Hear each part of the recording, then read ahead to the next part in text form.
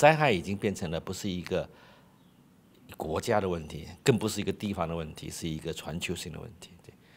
呃，灾害其实讲起来不分种族、不分文化、不分经济、不分贫富，大家都是同样的面对。而且今天人类这种灾害多多少少可以说，啊，除了地震、火山之外呢，我相信像像像像水灾啦，像其他东西，大概某些因素是因为是人为的，对。一基本上谁也不能够说在某个地方能够制造灾害，尤其是气候变化，是全球性的问题。是啊，在在北极所制造的这个二氧化碳也可以影响到南极，这个是这个是没有一个地区性的问题了，对不对？所以今天我们这边我看到这个，能我们很小的这样的一个人力物力，去点起了这样的一个火花，希望能够累积全球人的参与。我觉得这个是一个很好的开始。这个汉望论坛，假如能够把它很有制度化的，而且很有权威性的，把世界所有从事各种灾害的科学研究、救灾经验、新设备的研发，或者是新设备的推广、人员的训练，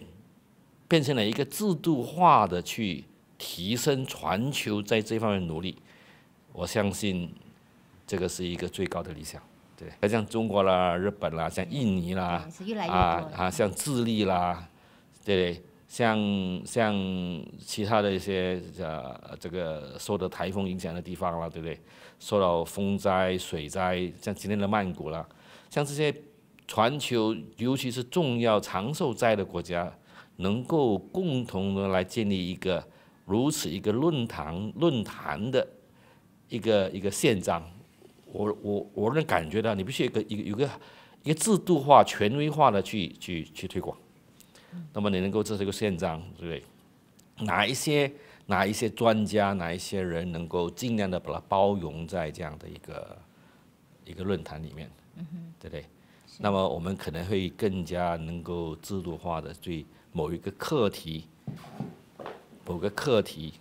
我们来来来来做一个非常非常有效的深入的研究，当然这个因这个涉及到庞大的经费，而这个论坛只要能够变成一个联系的一个中心点，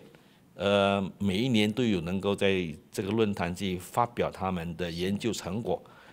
啊，推广他们的经验，甚至能够把大家组织起来啊，做一个全球的一个。防灾是防灾这个或者减灾或者是灾后的这样的一个救援的这样的一个一个一个一个一个核心啊，这样子的话，我相信明天会更好。OK。